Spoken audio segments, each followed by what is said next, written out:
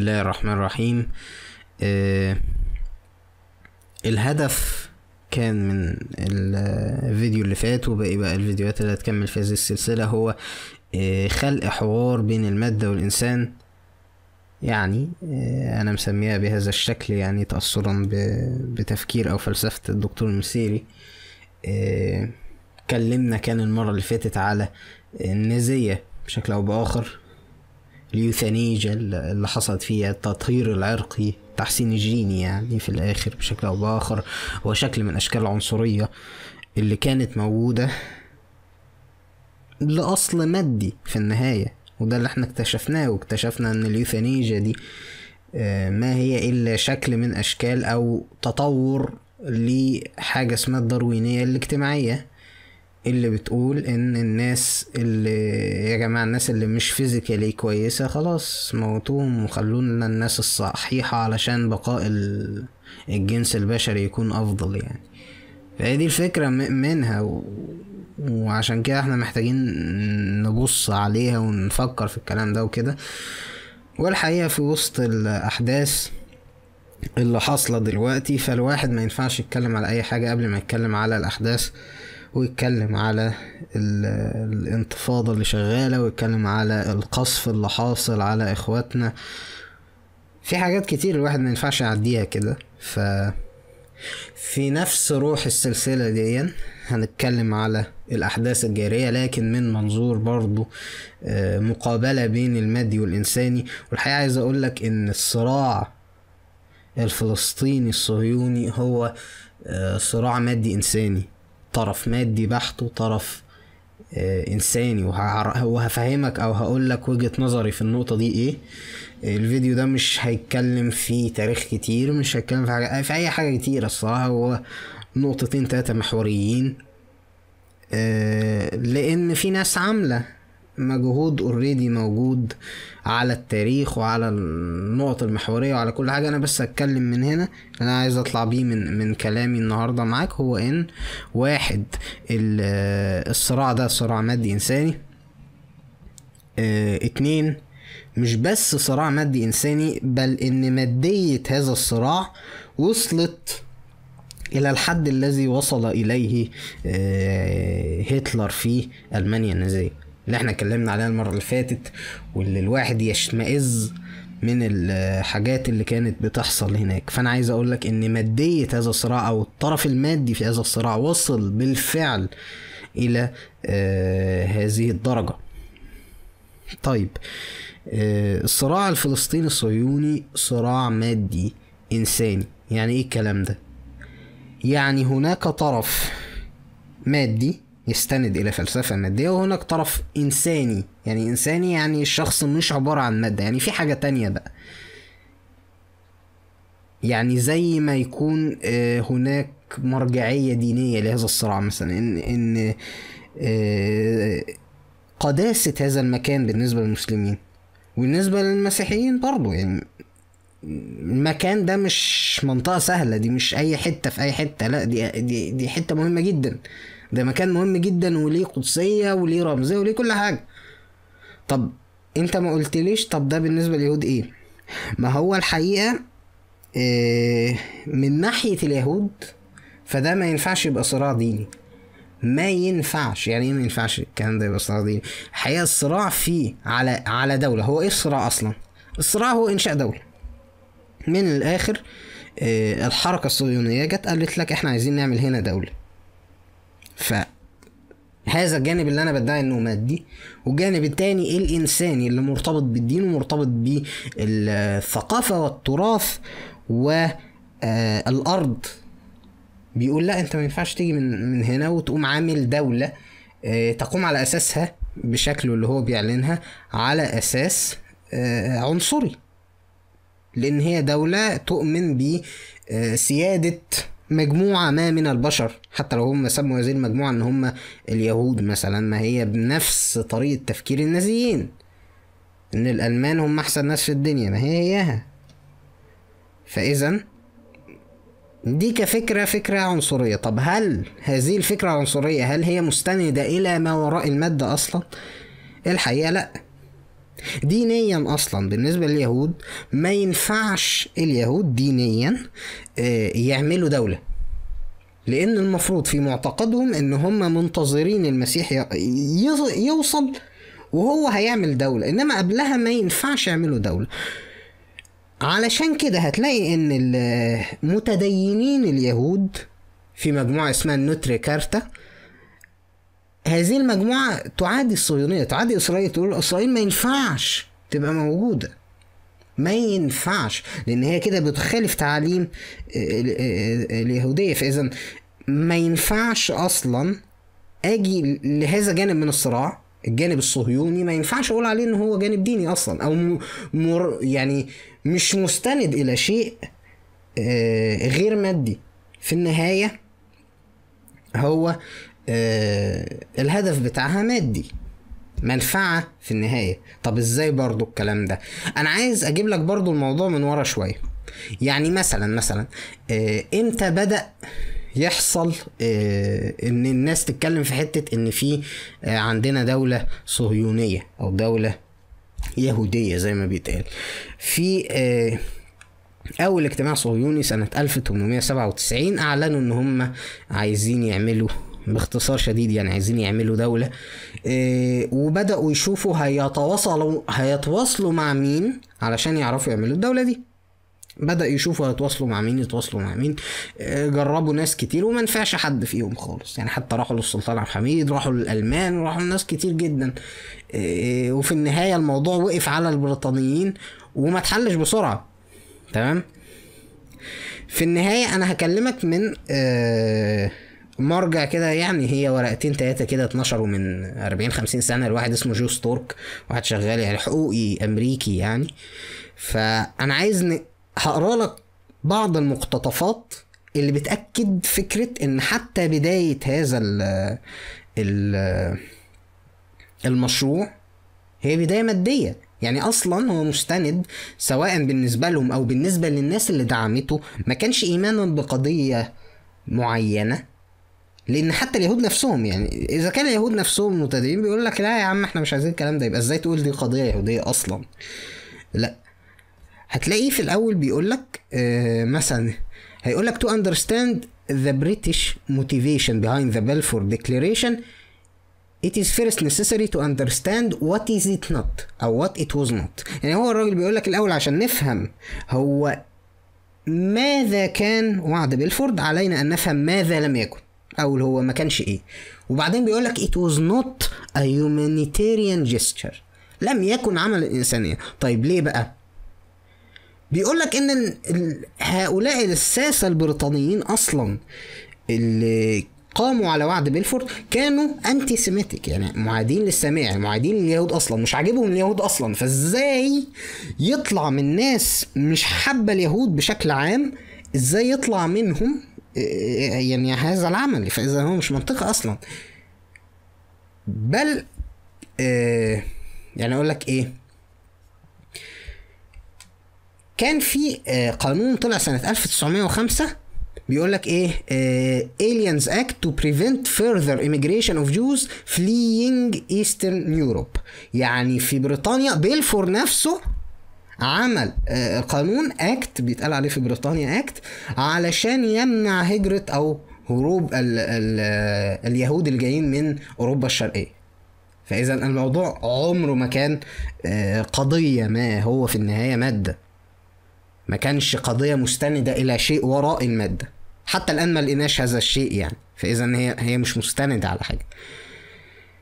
في النهاية برضه هتلاقيه بيقول لك it was a policy decision of the British government issued to advance its own short-term interests in the war and to bolster its position in the Palest in Palestine in the aftermath ماشي يبقى في النهاية هو الراجل بيبص لمكاسبه أو يعني من الآخر هذا ال- الحقوق اللي بيتكلم يقول لك ان هذا ال- الاتجاه البريطاني اللي طلع ما كانش ايمانا بشيء إلا ايمانا بمصالحه إيه، تثبيت مكانه في فلسطين تثبيت وجوده في المنطقة.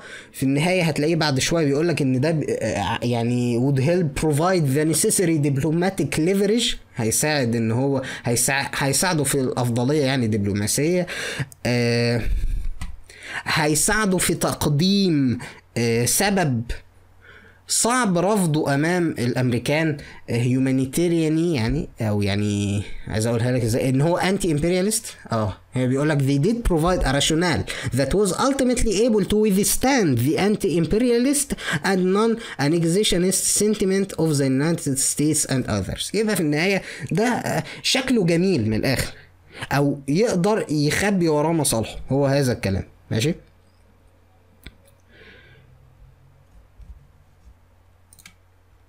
في النهاية هتلاقيه بيكلمك على آه، ارتباط هذه الحركة بالإمبريالية ال- الغربية. ودي ليها قاعدة تانية الكلام في إن الإمبريالية برضو هو تحرك مادي ودي مش محتاج الصراحة قاعدة يعني. هو الإمبريالية كانت إيه؟ سلب خيرات البلاد ليه؟ آه، سبب مادي بسيطة جدا. هو أنت لما تسرق ناس قاعدة في أمان الله يبقى أنت عايز اللي عندهم. بس كده.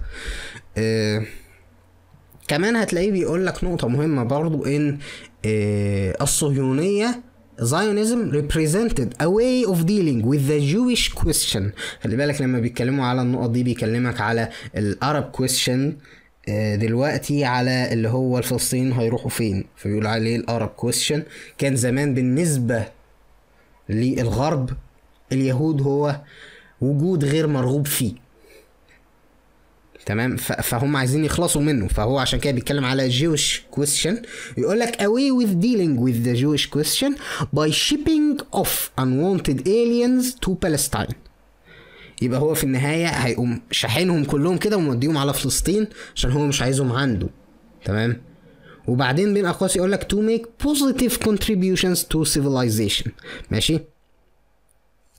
بعدين بيقول لك and at the same time diffusing the revolutionary potential of Jewish oppression while preserving the established international and domestic order. فإذا في النهاية آه الموضوع ما كانش ديني. الموضوع ما يعني ما فيش في هذا التحليل ولا غيره من التحليلات المنطقية أي سبب ديني وراء هذا الجانب أو الجانب الصهيوني. إذا حاصل هذا الكلام هو واحد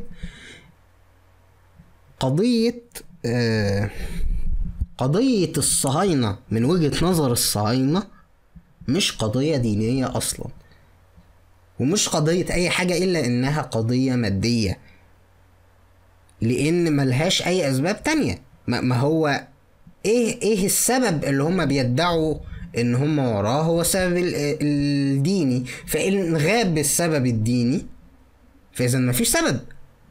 يعني إيه مفيش سبب؟ إذا هو السبب هو المنفعة. أو أيا كان ما هتسميها فإذا إن كان السبب هو المنفعة فإذا هذا السبب مادي. أو إذا هي منفعة مادية. وعشان كده تقدر تبرر أو يعني مش تبرر تقدر تفسر أقصد آه، كل الحركات اللي جاية بعد كده. وخصوصا كمان ارتباطها بالإمبريالية الغربية وتعاملها بشكل استعماري جوه فلسطين تهجير الناس من آه، من بيوتها وعمل مذابح ال يعني الغير أخلاقية والغير إنسانية وسكوت الناس عليها. يعني سكوت حتى آه الأمريكان اللي حتى لما كان بيتكلم هنا من وجهة نظر بريطانيا آه المحلل بيتكلم من وجهة نظر بريطانيا بيقول إن حل آه الصهاينة هو حل جميل قدام الناس اللي ضد الإمبريالية أمريكا يعني. حتى أمريكا هذه اللي المفروض متحررة ضد الإمبريالية وضد الكلام ده كله شافت المجازر وبلعت ريقها وسكتت يعني ما حدش اتكلم. لأن من مصلحة الجميع في هذه اللحظة من التاريخ مصلحة ها؟ مصلحة الجميع سواء كانوا الصهاينة أو القوى العظمى في الغرب. من مصلحتهم إن هم يخلصوا من اليهود ومن مصلحة اليهود إن هم يعملوا آه، مكان ويبنوا لنفسهم دولة. اذا مصالح مشتركة فالناس كلها مع بعض. شكرا. آه، تاني حاجة دي مش نقطة دينية أبدا لأن الدين اليهودي ما بيقولش كده أصلا. يعني يعني الدين ما بيقولش كده أصلا. فأنت جبت منين إنها دينية؟ يعني آه، هتشتغل داعش بعد الظهر مش مش كده. فإذا آه، ما ينفعش. ما ينفعش يتحول هذا الصراع أو يتقال عليه إن هو صراع ديني يهودي أو إنها قضية يهودية أو ايا كان لأن يهوديا ما ينفعش الكلام ده. طيب هذا من جانب. هذا الصراع أثبتنا من أحد جوانبه إنه مادي بشكل سطحي ومختصر يعني. واحد لو قعد يتكلم تلات أيام ورا بعض متصلين مش هيوفي الكلام حقه. لكن أنا بحاول آه، أمشي بشكل هامشي سطحي outlining بس الموضوع باعتبار إننا في خضم بعض الأحداث. طيب الناحية التانية ما تقدرش تنفي الهوية ما تقدرش تنفي إن في ناس already موجودة وعندها ارتباط. لو حيدنا جانب الدين حتى دلوقتي فإن دي ناس مرتبطة بهذا المكان اللي عاشت فيه مئات السنين. في مكانها وفي يعني أكيد مهما كان ارتباط الشخص اللي عاش لأجيال ورا أجيال ورا أجيال في مكان ما في قرى فلسطين أكيد ارتباطه بالأرض ديا أكبر من ارتباط أي شخص جاي من بولندا ولا جاي من أي حتة في شرق أوروبا أصلا ما يعني مش هتلاقي في في دمه أصلا حتى لو اتكلمنا من نقطة إن هو إيه ده إحنا من 3000 ولا مش عارف كام ألف زمان كنا هنا ففي النهاية هو هو مش ه- مش ده اللي كان هنا أصلا. يعني أنت أصلا اليهود اللي كانوا من 3000 أنت مش نسلهم أصلا. يعني أنت أصلا شخص يعني أوروبي البتاع. يعني أنت مش من ها يعني حتى دي مش نافعة. يعني أنت وح يعني أنت مش ظابطة معاك حاجة أصلا. يعني وملكش أي ارتباط غير مادي بهذا المكان. يعني ما تقدرش تثبت أي ارتباط غير مادي بهذا المكان بعكس الناس اللي عايشة فيه لأن بكل بساطة هي عايشة فيه. يعني واحد عاش عاش وأبوه عاش ومات هنا وجده عاش ومات هنا بس بكل بساطة أنت مش محتاج تربط أي شيء تاني لأن اوريدي في هنا ارتباط آه غير مادي بهذا المكان. لأن طبيعي إن الإنسان بيرتبط بالمكان اللي هو عايش فيه ارتباط غير مادي. مش محتاجة تتثبت. وخلي بالك كلامي معاك على ال- الغير مادي هو كلام آه، مش مش لوجيك مش إيه يعني مش واحد زائد واحد يساوي اتنين. ما في النهاية ده غير مادي. هو شيء بتحسه يعني حاجة انت حاسسها. وحاجة بتكلم عليها من منطلق ذاتي أنا من منطلق أنا حاسس بإيه؟ وب... وبوصفه إزاي؟ وانت هتستقبله إزاي؟ فإذا ما ينفع يعني لما أنا أقول لك إن آه وجودك وعيشتك أنت وأبوك وجدك وجدك وجدك في مكان ما يجعل هناك ارتباطا غير مادي بهذا المكان فده كلام مش هتمشي وراه بالو- بالورقة والقلم هو يعني إيه ارتباط أصلا؟ فاهم أنت الفكرة؟ أنت مش ه... دي ده شيء آه، غير ملموس لكنه موجود بالفعل ومحسوس يعني محسوس بالفعل وتقدر تقارن بكل بساطة بين الناس اللي مثلا التجار العرب مثلا اللي, اللي باعوا الأراضي. وعلى فكرة دي نقطة أخرى إن أنت عندك بسبب هذا الارتباط الشديد جدا مفيش حد من الفلسطينيين اللي فعلا عندهم هذا الارتباط باع أي حاجة. اللي باع هم تجار. تجار فإذا هو من منظور مادي كانت الدنيا بدأت تقلق فقال لك يا عم أنا أبيع الحتة دي وآخد فلوسي وأروح حتة تانية شكرا. وده بالفعل حصل لأن هو ما عندوش هذا الارتباط بهذه الأرض إنها مش بتاعته.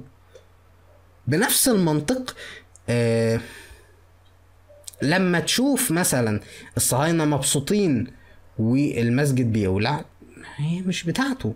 أو آه، تشوفه بيجري أول ما يطلع عليهم فرقيعه أو أول ما ما تصرخ السرينه تلاقيه بيجري لأن هي ما فيش هذا الارتباط بينه بالارض ارتباطه بيها مادي فاذا دلوقتي وهو واقف في هذا المكان لو ضرب عليه الصاروخ مفيش منفعة مادية. ده بالعكس ده هتنتهي حياته المادية. فإذا تولع على الأرض يا فندم أنا عايز أعيش. انها في نفس ذات اللحظات تلاقي شخص بيصور القصف اللي حاصل على غزة وتلاقيه واقف وتلاقي قدامه بمسافة أمتار تلاقي إن في قذيفة وقعت قدامه أو تلاقي إن ال- البرج اللي هو قاعد فيه اتقصف وتلاقيه بيصور لسه واقف بيصور يعني. ما راحش في حتة يعني. لأن بكل بساطة ارتباطه أعمق بكتير من مجرد حياة جيل واحد لأن هي أجيال كتير وهو حاسس بده. وانت لو عندك قلب برضه هتحس بده. نقطة أخيرة آه، للتأكيد على إن الموضوع هو نفعي أو آه، مثال آخر برضو من الأحداث الجارية هي آه، في فيديو منتشر بيتكلم على مشكلة حي الشيخ جراح ومسجلين فيديو لمستوطن. والبنت فلسطينية بتكلمه وبتقول إن ده بيتي أنت أنت بتعمل إيه هنا؟ ده بيتي. على مضض عمالة تقول له كده وهو عمال ها رايح جاي. في الآخر قال لها آه بيتك وأنا سرقته. بس أنا لو ما سرقتوش حد تاني هيجي يسرقه. فإذا دي ما بقتش قضية غير مادية. دي قضية قمة المادية يا جدع.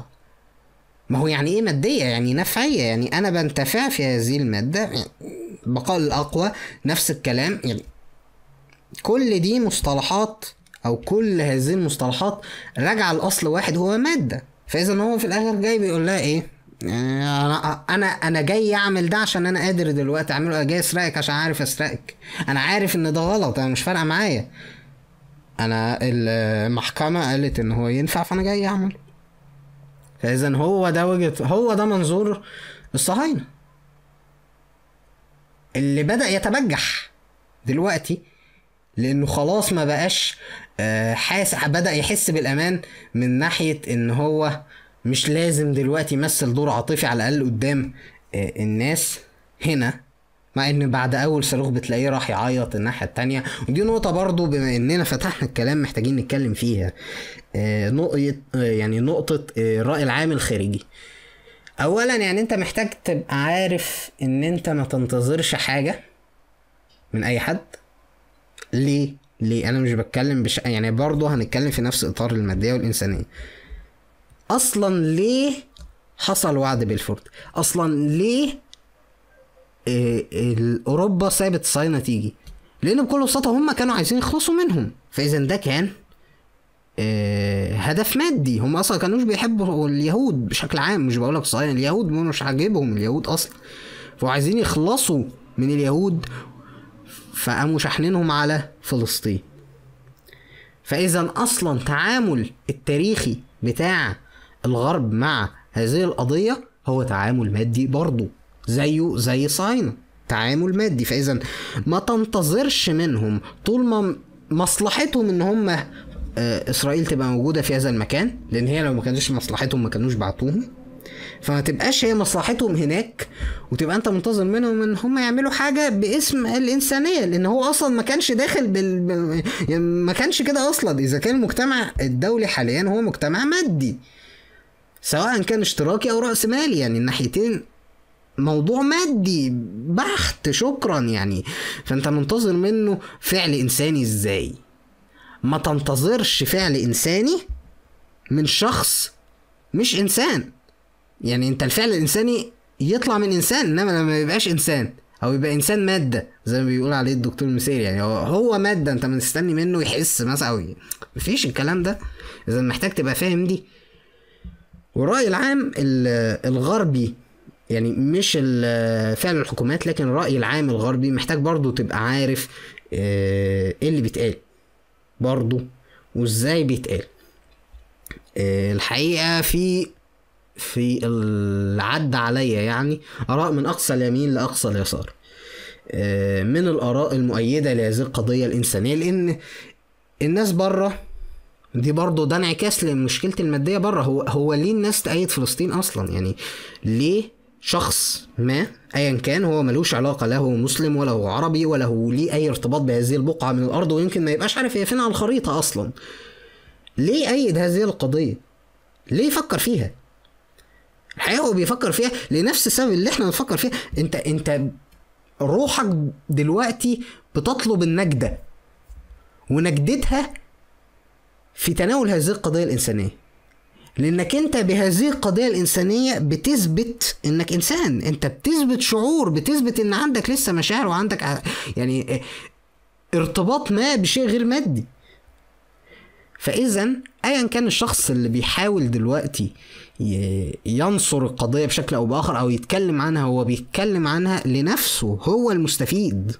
هو المستفيد لكون هذه القضية شيء من الوضوح في الجانب المادي والجانب الغير مادي وهو عايش في عالم سواء هنا أو بره عايش في عالم مادي. فإذا هو بيهرب من هذه المادية إلى آه، نصرة قضية إنسانية. بنفس الطريقة اللي هو بيهرب بيها لما يتكلم عن التبرعات لمكان ما أو كده. يعني هو فرق معاهم إيه مثلا؟ أو يعني يبقى من العبث جدا لما تبص مثلا لدولة أوروبية أو كده بتبعت مثلا إيه أو بيلموا تبرعات. لبلد آه، أفريقي مثلا. ما هو يعني آه، أسهل من لم تبرعات آه، بطلوا تسرقوا ثرواتهم يعني. هيبقى ألطف قوي إنكم تسيبوا الدهب بتاع أفريقيا جواها بس يعني. لكن ده ما بيحصلش. فإذا الناس في النهاية بترضي ضميرها. بشكل أو بآخر أو بتشبع الروح الإنسانية بشكل أو بآخر. من الآخر اللي بينصر القضية دي هو اللي مستفيد مش القضية لأن هي قضية مش مش معتمدة عليه في حاجة. ودي نقطة محتاجين نبقى فاهمين. الجانب الآخر من الرأي العام اللي شفته خارجيا هو ما يتداوله ال- الإسرائيليين من آه، صياح. يعني الصهاينة بيصيحوا ما شاء الله يعني وصحهم طرب وكل حاجة. صياح من كون آه، حماس تضرب عليهم الصواريخ من كون أن المتطرفين الفلسطينيين يرشقون ال- البوليس بالحجارة ويبدأ أقول لك إيه الفجاجة وقلة يعني انعدام أي شيء يعني الصراحة. لما يجي يقول لك إزاي يضربوا على البوليس اللي بيحميهم؟ شوية حاجات كده من اللي هي تحس أنت أنت بتعمل إيه يا فندم؟ تحسه كده بيستهبل. هو بيستهبل فعلا يعني زي زي التاني اللي هو بتاع المتحدث الرسمي يقول لك لم يستوصوا بنا خيرا. إيه يا عم القارورة؟ والله العظيم حاجة فعلا مضحكة. يعني أنت بتعمل إيه؟ لكن للأسف مش للأسف قوي مش فارقة. آه، في جزء كبير من اللي بيسمع هذا الكلام آه، بيأيده لأن هو في النهاية غير مهتم بهذه القضية لأن زي ما قلنا إن أغلب المجتمع حاليا مادي سواء في آه، الدول العربية أو غيرها. فباعتبار إن العالم كله مادي فطبيعة إن غالبية الناس هي مادية. وكون بعض الناس بتحاول تحارب المادية جوه نفسها مش معناه إن باقي الناس كويسة لأ أغلب الناس مادية. واغلب الناس أصلا مش مهتمة بهذه القضية. ففي الآخر أقرب صوت ليها هتسمعه شكرا وخلاص. وأي إيه تلزيق للكلام وشكرا. الحقيقة الرأيين دول معروفين واضحين جدا وما فيهمش أي كلام. المشكلة في رأي آه، عدى عليا. يعني يعتبر النهارده يعني شفت فيديو كده بيتكلم آه، رأي بيحاول يمسك العصاية من النص. مش بتكلم داخليا أنا بتكلم خارجيا. آه، في رأي بيكلمك من ناحية آه، هحاول برضو أحط الفيديو بتاعه تحت. آه، لو تعرف تريفر نوا هو اللي بيقدم دلوقتي على Comedy Central بيقدم The Daily Show كان نزل كده فيديو ربع ساعة بيتكلم بقى عليه. الفكرة من الكلام بتاعه اختصارا يعني هو بيقول لك إحنا مش عارفين إحنا مش عايزين دلوقتي نتكلم في أنا عايزك تتخيل الشخصية معايا وإحنا بنتكلم. يعني عايزك ت... هترجم لك اختصارا يعني اللي هو بيقوله. يقول لك إحنا مش عايزين آه نشوف هو مين الغلطان دلوقتي. إحنا عايزين نشوف إن في ناس ماتت. إحنا لو قعدنا نتتبع ال- الصراع الفلسطيني الإسرائيلي هنلاقي إن كل ما نرجع خطوة بالزمن لورا هنلاقي التاني هو اللي غلطان. إسرائيل ضربت يبقى هم اللي غلطانين. لا ما هو أصل حماس كانت ضربة صواريخ يبقى هم اللي غلطانين. لا ما هو أصل قبل ما حماس تضرب كان إسرائيل اقتحمت المسجد وقعد يسرد لك كده بطريقة ما إن هو إيه أنت لو بدأت التاريخ من النقطة دي هتلاقي إن هم اللي غلطانين. أه والحقيقة إن دي يعني ارجيومنت فاشلة جدا ومضحكة. أه وتنم عن حاجات كتير قوي محتاجين برضو نقف عندها. أه هو بيتكلم بيقول لك إن إحنا لو بدأنا نحسب تاريخ الصراع من نقطة ما في الزمن بعدين رجعنا قبلها للنقطة اللي قبلها هنلاقي إن لأ ده ده الطيب والشرير اختلفوا هو عايز يقول كده. يعني عايز يقول لك إن إحنا لو بدأنا نبص على آه، صواريخ القصف الإسرائيلي على آه، قطاع غزة هنقول إسرائيل وحشة. بعدين لو رجعنا شوية هنقول لا ما هو ما هو القسام ضربوا عليهم.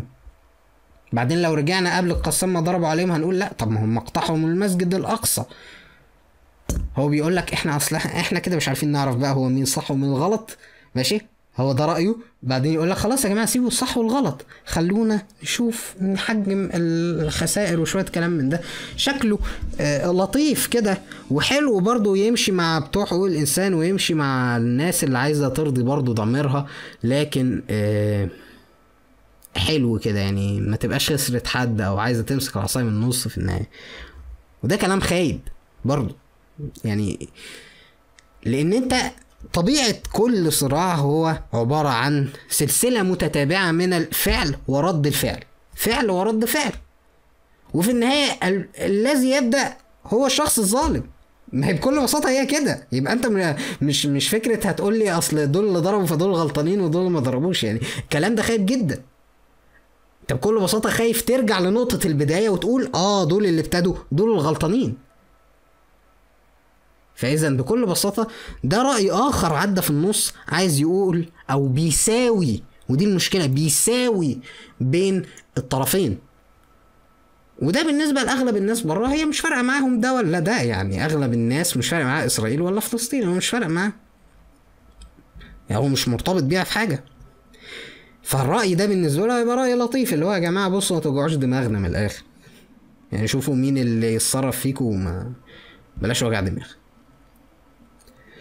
وده بالنسبة لنا غير مقبول تماما آه، من وجهة من كل وجهات النظر أصلا غير مقبول لكن أنا هحاول أتكلم من وجهة نظر ال- المادي والإنساني دلوقتي. والإنسان خلي بالك بيخش فيها كل كل وجهات النظر يعني ايا كانت الطريقة اللي أنت بت بتوافق بيها أو بت بتدعم بيها أو ايا كان منظورك اللي أنت بتدعم من خلاله المقاومة الفلسطينية فهو منظور إنساني. في النهاية يعني سواء كان منظور ديني أو منظور قومي أو أيا كان إيه، في النهاية هو المفروض إنه منظور إنساني لأنها يعني منظور تاريخي برضه تاريخ إنساني مش مادي. ف أيا كانت وجهة نظرك في هذا الصراع فهي وجهة نظر إنسانية لو أنت آه، من ناحية أو بتدعم الجانب آه، المقاوم. ولو انت بتدعم هذا الجانب فانت ما ينفعش ترضى بالمساواة أصلا بين هذا الجانب وبين الجانب الآخر لأن الجانب الآخر ما بقوش بشر. مش ما بقوش بشر إن انت بتعمل دي هيومنايزنج ليهم لكن هو تخلى عن الإنسانية. أصبح زيه زي النازيين.